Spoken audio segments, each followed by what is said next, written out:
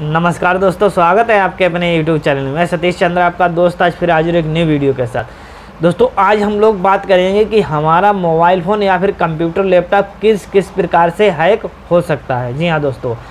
तो दोस्तों, आप लोगों ने देखा होगा कि आप लोग सुनते हैं कि मोबाइल हैक हो गया। हैक होने के बाद आपका डाटा चोरी हो सकता है या किसी भी प्रकार की आपकी इन्फॉर्मेशन रहती है, वो चोरी हो सकती है या फिर आपके पर्सनली कोई डॉक्यूमेंट होते हैं, वो चोरी हो सकते हैं। तो किन किन बातों का हमें ध्यान रखना चाहिए ताकि हमारा मोबाइल फ़ोन है, वो हैक ना हो? जी हाँ दोस्तों। तो आज हम लोग इसी टॉपिक पे बात करेंगे। तो बने रहिए हमारे वीडियो में और चैनल को अभी तक सब्सक्राइब नहीं किया तो प्लीज़ सब्सक्राइब कर लें, बेल आइकन को भी प्रेस कर लें ताकि जब भी कोई इस प्रकार की वीडियो बनाऊँ तो सबसे पहले मिले आपको। तो चलते हैं दोस्तों टॉपिक की तरफ़ और बात करते हैं कि हमारा मोबाइल फ़ोन किस प्रकार से हैक हो सकता है तो हम उसको किस प्रकार से बचाएँगे हैक होने से। जी हाँ दोस्तों। तो यहाँ पे सबसे पहले बात कर लेते हैं कि यदि आप लोग अपने फ़ोन में पासवर्ड डालते हैं या फिर पैटर्न लॉक डालते हैं या फिर पिन डालते हैं तो इस प्रकार का डालें, कोई ईजिली ना हो। बहुत ही कठिन डालें मतलब इस प्रकार का डालें कि ज़्यादा लंबा, जैसे पासवर्ड हो तो लंबा हो, जैसे कि मान लीजिए आप अपने अपना नाम डाल दिया, उसके बाद आप अपने कोई भी अंक डालेंगे, उसके बाद एक जो स्पेशल करेक्टर रहता है, जैसे ऐट द रेट हो गया हैच हो गया, इसको डालना है। इस प्रकार से आप लोग अपना पासवर्ड को प्रोटेक्ट करेंगे, तभी आपकी ना ही ईमेल आईडी हो गई या फिर आपका फ़ोन हो गया। तो यदि आप लोग इस प्रकार का प्रोटेक्टेड पासवर्ड डालेंगे तो आपका हैक नहीं होगा। जी हाँ दोस्तों। तो अब दूसरी बात है दोस्तों, जैसे कि मान लीजिए आप लोग कहीं ऐसे स्थान पर गए जहाँ पर आप लोग उस एरिया से परिचित नहीं हैं। और वहाँ पर आपने देखा कि वाईफाई, फ्री का वाईफाई आ रहा है तो आप लोग क्या करते हैं कि फ्री का वाईफाई यूज़ करने लगते हैं। और दोस्तों, जो आजकल के हैकर हैं, वो ये भी जाल बिछा देते हैं कि अपना फ्री का वाईफाई देकर और आपका मोबाइल हैक कर सकते हैं। तो आप लोग कहीं पर भी जाएँ तो ऐसी जगह पर वाईफाई कनेक्ट ना करें जहाँ पर आप लोग परिचित ना हों। और वहाँ से मतलब हाइकिंग हाइकिंग शुरू हो सकती है। तो दोस्तों कहीं ऐसी जगह जाएँ जैसे रेलवे हो गया या कहीं ऐसी जगह जाएँ जहाँ पर प्रोटेक्टेड वाईफाई हो उसी को कनेक्ट करके आप लोग यूज़ कर सकते हैं।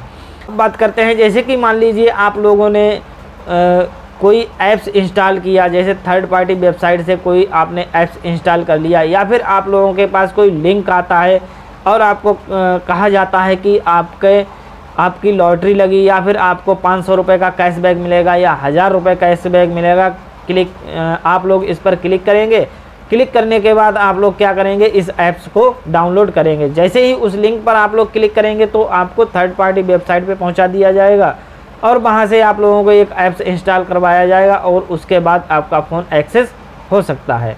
जी हाँ दोस्तों तो यदि आप लोग कोई भी ऐप इंस्टॉल करें तो गूगल प्ले स्टोर से इंस्टॉल करें या फिर जो आपके फ़ोन में जो ऐप स्टोर होता है, वहाँ से इंस्टॉल ईजिली से करें। क्योंकि, जी हाँ दोस्तों, क्योंकि यहाँ पर जो ऐप्स होते हैं, वो सेफ़ होते हैं और वहीं से आप लोग इंस्टॉल करें। ना कि थर्ड पार्टी वेबसाइट पर जाके वहाँ से कोई ऐसा ऐप डाउनलोड कर ले, जिससे आपका फ़ोन एक्सेस हो जाए, हैक हो जाए। जी हाँ दोस्तों। तो दोस्तों, और मैं बात कर लेता हूँ कि जैसे कि मान लीजिए आपका फ़ोन कभी भी अपडेट माँगता है तो मैंने कई लोगों के मोबाइल में देखा है कि वो अपना फ़ोन अपडेट नहीं करते हैं।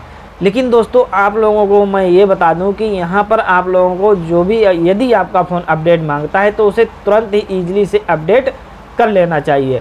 क्योंकि दोस्तों, जो कम, मोबाइल कंपनी फ़ोन होती हैं, वो इस बात पे रिसर्च करती रहती हैं कि जो हैकर हैं, वो अपना कौन सा नया तरीका ढूंढ रहे हैं फ़ोन हैक करने का। जी हाँ दोस्तों तो यदि आपका सॉफ्टवेयर अपडेट मांग रहा है तो उसे तुरंत ही ईजिली से अपडेट कर लेना चाहिए, क्योंकि अपडेटिंग पे आपका ना ही डाटा कहीं जाएगा, कुछ नहीं होगा, केवल आपका सॉफ्टवेयर अपडेट हो जाएगा। जो भी कंपनी ने सिक्योरिटी आपके फ़ोन के लिए दी है, वो आपकी सिक्योरिटी आ जाएँगी। और आपका जो ओल्ड वर्जन होगा, वो हट जाएगा न्यू वर्जन लेटेस्ट वर्जन आ जाएगा।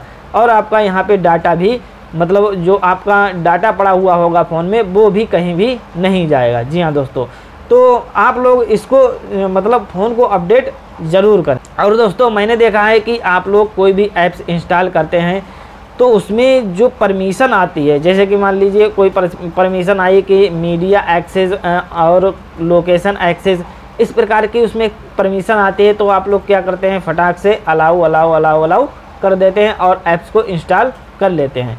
लेकिन यहाँ पे आप लोगों को बहुत ही ध्यान देने की बात है कि यदि आप लोग कोई भी इस प्रकार का मतलब कोई भी ऐप्स इंस्टॉल करें तो उसमें ये बात देख लें कि हमारा जो ऐप्स है जो ऐप्स इंस्टॉल कर रहे हैं वो किस बात की किस लिए परमिशन मांग रहा है? क्योंकि उसमें सारा कुछ दिया हुआ होता है आ, क्या क्या चीज़ एक्सेस करवा रहा है ऐप्स और किस प्रकार से उसको इंस्टॉल करें।